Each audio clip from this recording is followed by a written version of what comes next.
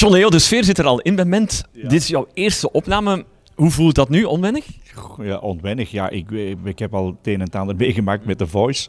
En dit, ik denk dat het wel een beetje anders is. Het is geen wedstrijd. Ik mag hier mijn eerste nummer doen, Doelwit. Uh, ik mag ook het, tweede nummer, het, andere, het, nummer doen, Verloren Hart, Verloren Dromen. Ja, ik ben er heel trots op dat ze dit allemaal aannemen en dat ik dat mag doen. Doelwit, jouw nieuwe single, wat kan je daarover kwijt? Ja, wat kan ik erover kwijt? Uh, ik zie bij daar al staan, uh, live, met een band. En dat die, al die vrouwen die daarvoor staan, dat die met pijltjes naar mij gaan schieten. En een doelwit, dus met schiet je pijlen op me af. Ja, ik vind dat fantastisch. Ik zie dat gebeuren. Ik hoop dat er geen echte pijlen bij zijn. Stel je voor. oh, ja, daar gaan we iets meemaken. Wie heeft het nummer voor jou gemaakt?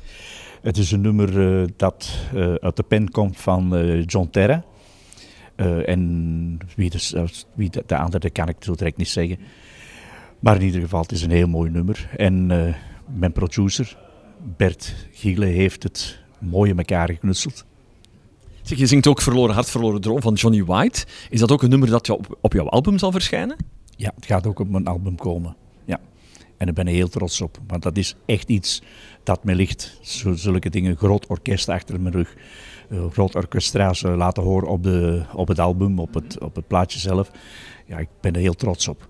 Ooit met Johnny White opgetreden? Ja, hij heeft ooit bij ons uh, bij op de bühne gestaan, ja. We hebben hem niet mogen begeleiden, want dat was ver op het einde van hem, van hem toen.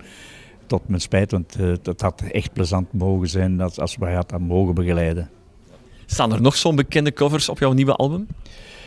Uh, eentje nog van John Terra staat erop. Ik weet niet waarom. Een heel mooi nummer.